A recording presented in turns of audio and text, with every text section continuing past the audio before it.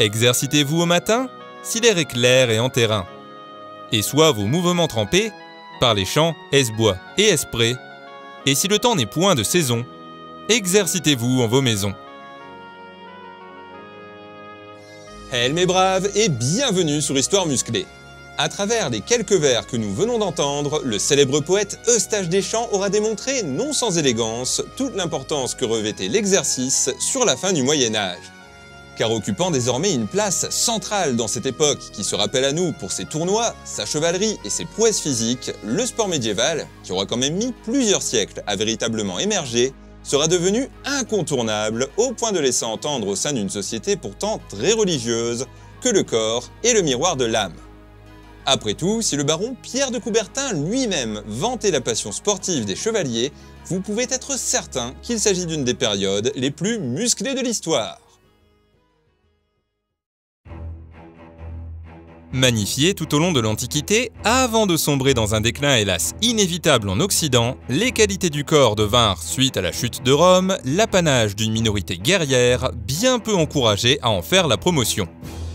Heureusement, même les plus vilaines blessures guérissent avec le temps, et sur la deuxième moitié du Moyen Âge, l'Église elle-même commencera à mettre de côté ses vieilles rancœurs. Jusque-là majoritairement rejetées par l'autorité religieuse, qui les considérait à raison comme des emblèmes païens, le corps et l'exercice bénéficieront au XIIe siècle d'un climat particulièrement propice à leur réhabilitation. Du strict point de vue scientifique, l'italien Gérard de Crémone provoquera d'abord un véritable raz-de-marée en traduisant le canon de la médecine d'Avicenne en latin. Cette œuvre monumentale, réalisée au début du XIe siècle par le célèbre médecin, constituera une compilation inédite des savoirs d'Hippocrate, de Galien et de Dioscoride, auxquels s'ajouteront l'expérience de l'auteur et celle de ses plus proches prédécesseurs. Synthèse de l'ensemble des savoirs médicaux connus, le canon permettra à l'Occident de retrouver une grande partie de ses connaissances et s'imposera comme manuel de référence au sein des premières universités de médecine européennes vers la fin du XIIIe siècle. Vous l'aurez compris, il s'agissait là d'un véritable tournant pour l'histoire du corps. Malheureusement, le canon était ce qu'il était. C'était un ouvrage imposant, difficile d'accès, qui plus est à une période où les gens n'étaient que peu lettrés, et par conséquent, seuls quelques rares élus pouvaient s'en abreuver. Ce n'était clairement pas suffisant pour redorer le blason de l'exercice. Il fallait quelque chose de plus direct, quelque chose qui puisse vraiment toucher les masses. Une bien belle aubaine pour la poésie, puisque c'est à cette même époque qu'émergèrent les chansons de gestes. Poèmes épiques, contant les hauts faits de héros souvent fictifs, ces dernières apporteront à l'imaginaire médiéval une multitude de symboles musculeux n'ayant presque rien à envier à ceux de la mythologie gréco-romaine. L'une des plus célèbres, intitulée Chanson de Guillaume, verra le jour aux environs de 1140 et comptera les aventures du célèbre héros, Guillaume d'Orange. Défiguré par un coup d'épée alors qu'il combattait les Sarrasins, doté d'une musculature impressionnante et d'un charme irrésistible, il s'agit pour faire court d'une sorte de mélange entre Tyrion, la montagne et l'Horace Tyrell.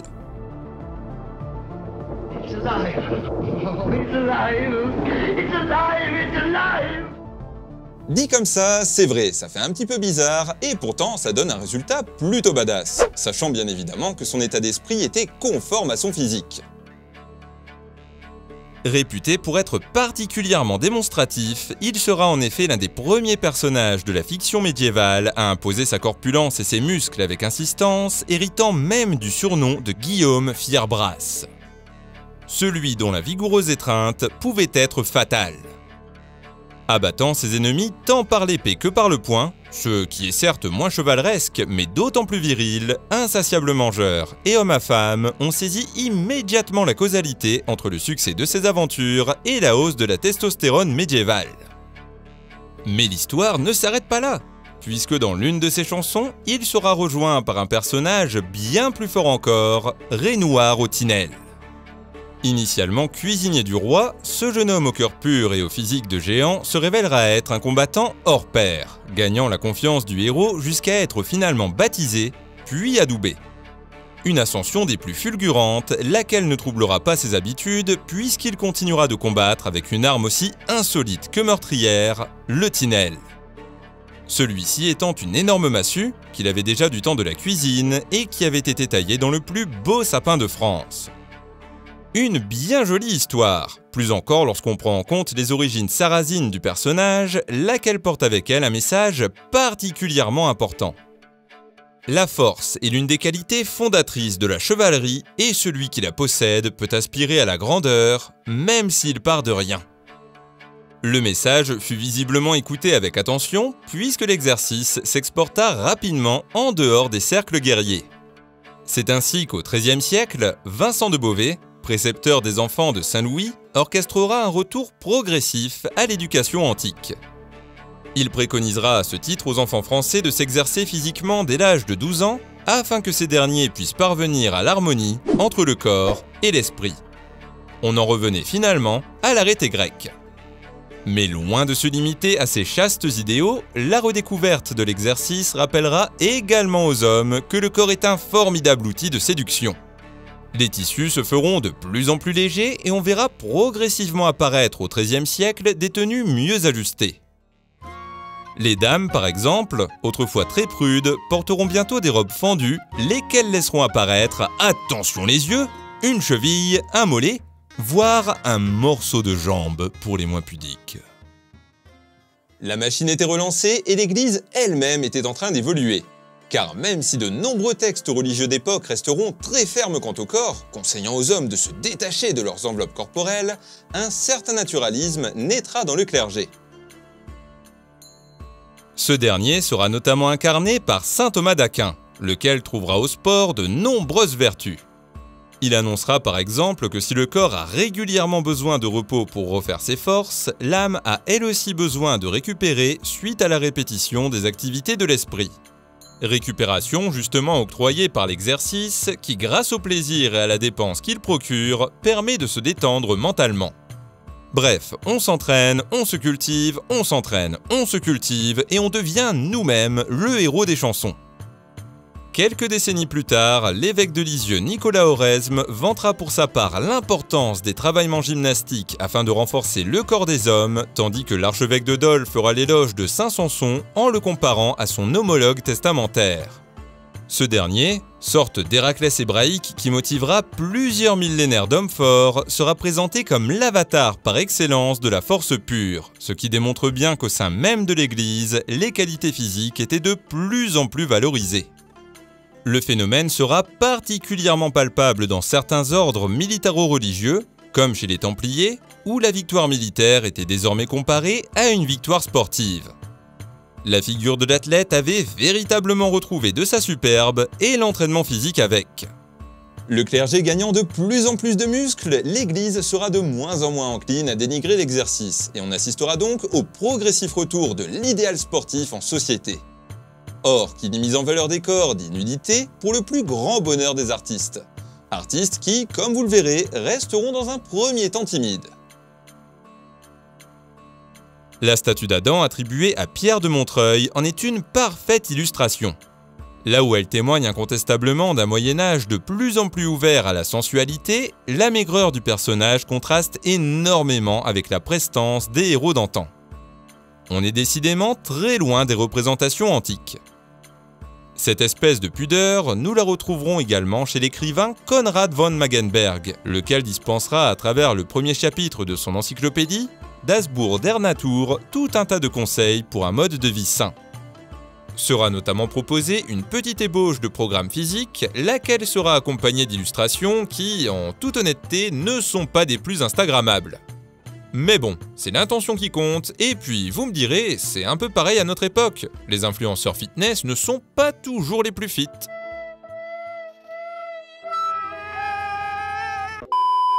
Bref, si l'amour du corps n'avait plus rien de tabou, la méfiance restera de mise pour beaucoup de personnes, y compris pour le poète que je vous ai cité en intro, Eustache Deschamps. Car si dans ses œuvres il préconisera de s'entraîner pour rester en bonne santé, il s'inquiétera néanmoins d'un phénomène décidément intemporel, à savoir, je cite, la superficialité des jeunes hommes qui, trop préoccupés par leur apparence et leur force, en oublient de travailler l'esprit. Une inquiétude légitime, je ne dis pas, cela dit, je doute que le danger ait été aussi présent qu'il puisse l'être aujourd'hui. Vous pouvez même euh, faire des pompes sur la cuvette. Les amnésiques, c'est deux gouliafiers, oui. Patauge dans la cuvette des chiottes. Mais à sa décharge, si le célèbre poète s'inquiétait, c'est aussi parce qu'il fut au service de différents monarques et qu'en tant que tel, il assista à une politique sportive de plus en plus prononcée. En effet, sous Charles V, le premier roi qu'il servit, c'en était fini des pincettes. Potentiellement inspiré par l'histoire du Grand Ferré, paysan français devenu célèbre pour avoir abattu à lui seul 85 soldats anglais, il décida que les sujets du royaume de France devaient être in shape. L'ensemble des activités permettant le développement de la force physique furent alors encouragées, tandis que les autres étaient au contraire mises de côté. Un exemple particulièrement éloquent réside dans l'ordonnance du 3 avril 1369, interdira les jeux de société afin d'encourager le peuple à avoir des passe-temps jugés plus utiles. Le roi donnera alors pour mission aux officiers royaux de promouvoir différents types de sports à travers le royaume, comme par exemple le tir à l'arc, à l'arbalestrie ou encore le lancer de pierre. Une politique qui trouvera bien entendu son prolongement chez les petits seigneurs, lesquels étaient vigoureusement encouragés à assurer la promotion de l'exercice. Je cite Bon ce roi que les seigneurs ordonnassent en leur terre que nul joua, sinon au travail de corps et exercice de membres qui pourroient tourner au bien de la chose publique. Bref, savoir, fiction, spiritualité et même politique, tout convergeait désormais dans le sens du corps, et certaines activités anciennes en profitèrent pour se refaire une petite jeunesse, à l'image de la lutte. En effet, dès le XIVe siècle, cette ancienne discipline olympique retrouvera toute sa superbe, tandis que les lutteurs médiévaux adopteront un mode de vie assez proche de celui qu'avaient les Grecs. Ils s'entraînaient, mangeaient, s'entraînaient, mangeaient encore, et ils combattaient suivant un calendrier alors chargé de combler les intermèdes entre deux tournois. Et le moins que l'on puisse dire, c'est que le succès était au rendez-vous, puisque certains rois pouvaient dépenser des sommes démesurées en vue d'entretenir leurs combattants les plus sportifs d'entre eux n'hésitant pas à donner de leur royale personne pour pratiquer eux-mêmes. Bien que l'on sorte un petit peu du Moyen Âge, on raconte à ce sujet qu'en 1520, lors de la célèbre rencontre du camp Audrador, le roi François Ier, notoirement réputé comme étant un excellent lutteur, infligea une violente PLS à son homologue anglais Henri VIII en le projetant au sol. Quand on voit la tronche des peintures de notre bon roi, on ne s'étonne pas vraiment du résultat. La masse cet épisode historique à base de roast beef attendri nous rappelle cependant une évidence. S'il s'était certes démocratisé, le sport médiéval restait une affaire d'élite. Pour en faire sérieusement, il fallait non seulement avoir le temps de s'entraîner, de se reposer, mais aussi la possibilité de manger suffisamment. Autant dire que ça limitait fortement la liste des potentiels pratiquants, ce qui nous amène à aborder une catégorie bien particulière de la noblesse, celle des chevaliers car à l'instar des héros de la fiction médiévale, ces derniers étaient véritablement censés représenter le meilleur de l'humanité, tant physiquement que moralement. Un passage de Lancelot du Lac, dans lequel la nourrice du héros lui explique la genèse de la chevalerie, est d'ailleurs sans équivoque. Quand l'envie et la convoitise commencèrent à croître dans le monde et que la force commença à l'emporter sur le droit, les uns et les autres étaient égaux de lignage. Cependant, quand les faibles ne purent plus tenir ni résister contre les forts, ils établirent au-dessus d'eux des garants et des défenseurs chargés d'assurer la protection des faibles, la justice et de dissuader les forts. Ce furent les plus grands, les forts, les beaux, les agiles, les loyaux, les preux, les hardis, ceux qui étaient remplis des bontés du cœur et du corps. Bien que cet extrait soit peut-être un petit peu trop pompeux, il nous renseigne sur les qualités idéalement attendues d'un chevalier. Il devait être beau, fort, intelligent et gentil, soit la moyenne base du forum 1825. Et si ça peut en surprendre certains, le fait que des qualités morales soient ainsi confondues aux caractéristiques physiques n'a rien d'étonnant pour l'époque, puisque de nombreux chroniqueurs estimaient qu'il y avait une réelle correspondance entre l'apparence extérieure et la beauté de l'âme. Rien de tel pour en attester que de s'arrêter sur la description faite par Fernando del Pulgar du célèbre guerrier Rodrigue de Villandrando, laquelle insiste tantôt sur sa musculature proportionnée et sur le développement de ses pectoraux, tantôt sur son courage et sur sa vaillance. Même chose chez Jacques de Lavardin, qui après avoir vanté l'intelligence du héros national de l'Albanie, Skanderbeg le décrira en des termes particulièrement épiques. Il était d'une haute stature, son bras d'une vigueur prodigieuse, toujours nu, hiver comme été, et il renversait tous les obstacles. Il se servait d'un cimeterre fait à sa taille, dont il portait toujours dans un large fourreau un deuxième exemplaire. Une précaution qui n'était pas inutile, eu égard aux terribles épreuves par lesquelles cette lame avait à passer. Christ. I've never prayed you before. De pareils exemples, vous en trouverez partout dans la littérature médiévale. Et par syllogisme, le meilleur moyen d'assurer la vertu d'un futur seigneur consistait simplement à l'instruire, aussi bien physiquement que moralement. Dans la lignée de Vincent de Beauvais, dont on a parlé un petit peu plus tôt, il devint donc habituel de voir les précepteurs démarrer l'éducation physique dès le plus jeune âge. C'est ainsi que les jeunes pages se retrouvèrent à aider leurs aînés dans leur quotidien dès leur dixième anniversaire. Ils devaient transporter des pièces d'armure toujours plus lourdes, des armes, les entretenir, mais aussi prendre soin des chevaux, assurer diverses tâches peu glorieuses mais épuisantes, et j'en passe. Des activités bêtes et redondantes qui, heureusement, ne priveront pas ces chevaliers en herbe d'ateliers plus ludiques. Car sous l'influence du philosophe Gilles de Rome, lequel vantait les exercices physiques pour le renforcement et l'assouplissement qu'ils procurent, ces derniers ne tarderont pas à pratiquer les mêmes activités que les adultes. Au programme, on retrouvera tous les classiques. Lutte, course, initiation au combat, manipulation de charge, escalade ou encore lancer de poids. De quoi endurcir l'ensemble du corps tout en travaillant bon nombre de qualités physiques. Et ce n'était là qu'une mise en bouche. Ces amuse-bouches m'ont mis en appétit Vous avez encore faim? En effet, et en dépit de leur futur de combattants équestres, les adolescents, une fois devenus écuyers, étaient astreints à un entraînement très rude pour le bas du corps. L'idée étant de pouvoir supporter de longues courses tout en étant lestés d'un équipement lourd et encombrant. Les instructeurs avaient par conséquent pour habitude de multiplier les exercices dits en suspension sans les pieds, c'est-à-dire toutes sortes de tractions, afin de développer force et masse musculaire dans le haut du corps. Mais qu'en est-il des muscles de la poussée? La question mérite d'être soulevée puisque si le développé couché n'avait pas encore été inventé, les chroniqueurs ne manquaient jamais une occasion de souligner les poitrines massives arborées de ci de là. L'art de l'exagération, littéraire comme artistique, n'y est certainement pas pour rien. Cela dit, la possibilité de rencontrer des chevaliers avec un bon petit bonnet B ne saurait être exclue. Les travaillements gymnastiques occupant une place plus ou moins importante dans l'emploi du temps quotidien. Bien qu'il soit difficile d'apporter de réelles précisions quant au contenu de ces derniers, faute de sources fiables, quelques rares illustrations attestent de la présence d'exercices ressemblant à des handstand push-ups et à des développés épaules. Ce qui constitue déjà une belle base de travail et ouvre certaines portes. Pour résumer, les aspirants chevaliers avaient tout ce qu'il leur fallait pour se développer efficacement. Ils faisaient du sport depuis tout petit, ne mouraient généralement pas de faim, et surtout, ils avaient la possibilité de dormir dans un vrai lit. L'art médiéval étant ce qu'il est, leurs musculatures ne seront hélas pas immortalisées dans la pierre ou la peinture. Un problème qui n'en est pas un, puisque, vous le savez, les chroniqueurs étaient au rendez-vous. En plus des écrits relatifs à Rodrigue de Villandrando ou à Skanderbeg, qui rappelez-vous sont aussi élogieux pour l'esprit que pour le corps, d'autres textes seront bien plus axés sur le physique.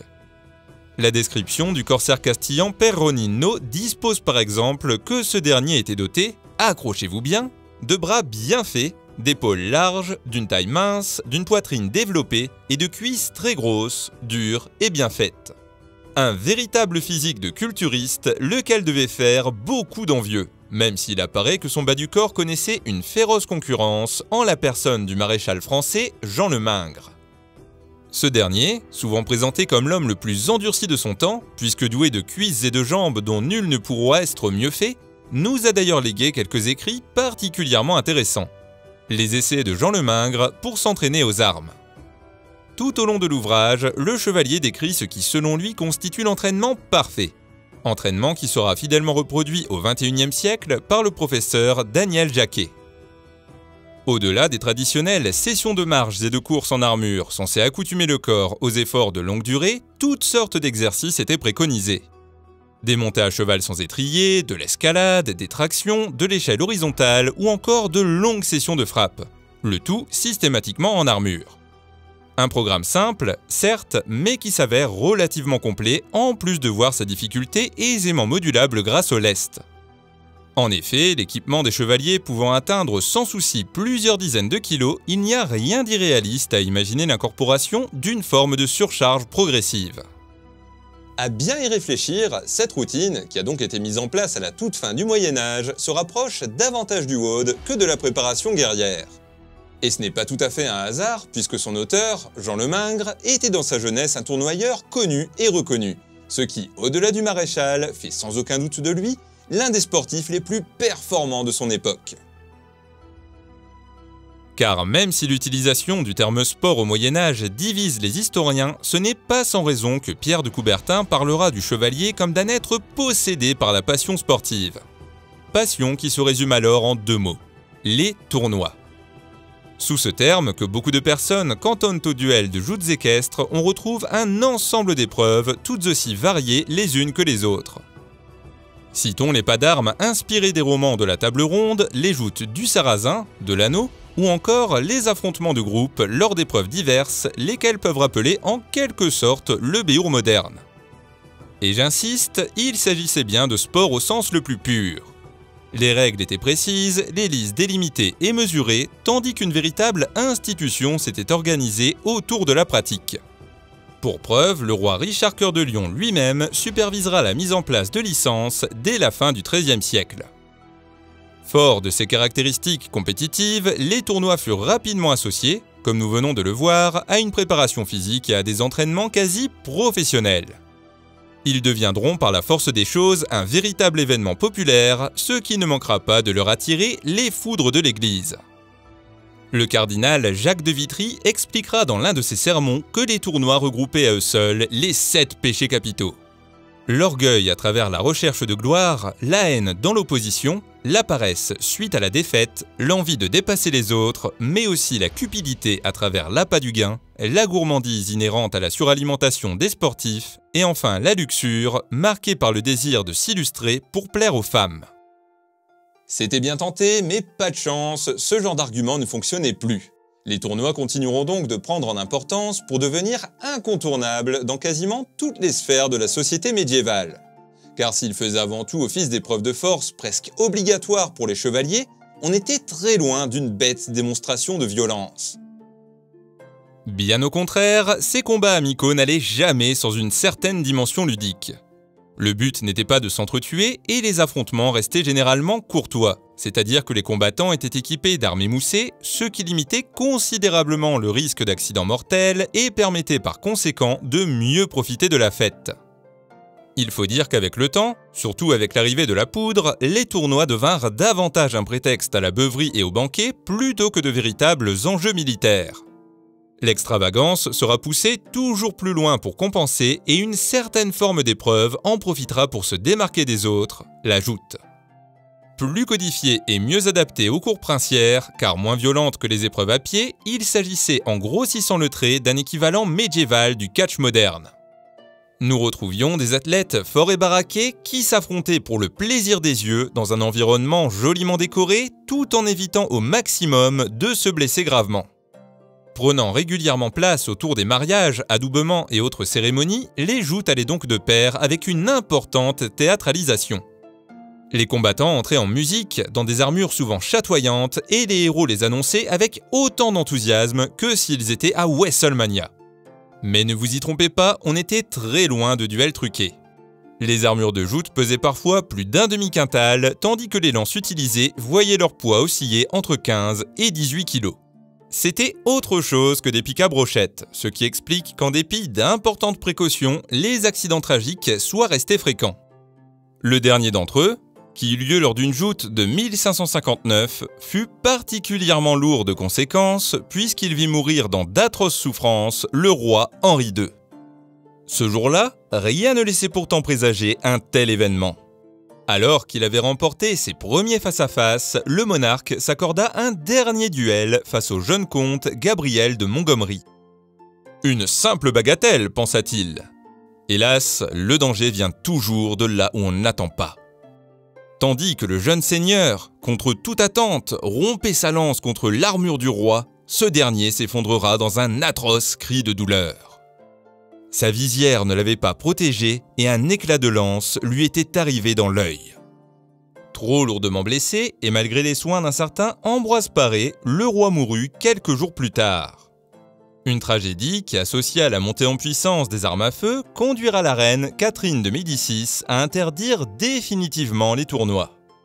Le sport médiéval, qui comptait parmi les derniers vestiges d'une époque révolue, était finalement balayé. Et voilà pour aujourd'hui. Comme d'habitude, je vous remercie d'avoir regardé et j'espère que la vidéo vous a plu. J'ai essayé de vous proposer de nouvelles choses avec cet épisode et de faire un truc un peu plus ambitieux que d'habitude. Si vous l'avez remarqué, que vous avez aimé et que vous avez envie de m'aider, c'est simple. Partagez la vidéo, likez-la, commentez-la, bref, faites-moi un petit peu de prosélytisme. De même, si vous n'êtes pas encore abonné, avec la cloche bien sûr, ne soyez pas timide, il y a de la place pour tout le monde. En plus, je trouve qu'on forme sincèrement une belle communauté, surtout par rapport au reste du feed game. Enfin, je vous rappelle que vous pouvez bénéficier, grâce à mes sponsors Galin Épicerie et MyProtein, de différentes remises, respectivement sur votre nourriture solide, viande, volaille, poisson et j'en passe, ainsi que sur vos compléments alimentaires. Il ne vous restera plus qu'à faire un petit peu de sport par-dessus et vous pourrez vous aussi aspirer à un corps digne des chansons de gestes. Un petit peu plus sérieusement, je voulais vraiment insister sur Galin. Je n'ai jamais mangé de poulet qui soit aussi bon, sauf peut-être dans certains restos hors de prix, ce qui est relativement normal. Alors n'hésitez pas à tester. Vous verrez, je suis sûr que vous allez recommander derrière, et quand on sait que la nourriture solide, c'est la base pour être fort et en bonne santé, eh bah, mieux vaut ne pas lésiner sur la qualité. Les plus observateurs d'entre vous verront également qu'il y a un nouveau et troisième sponsor, mais comme dirait le narrateur d'un film archi stylé de 1982, This is another story to be told. Bref, ce sera bientôt au cœur d'une vidéo dédiée à moi, Team. Sur ce, le moment publicité étant clos, il ne me reste plus qu'à vous souhaiter une bonne journée, un bon entraînement, et je vous dis à la prochaine Des bisous tout le monde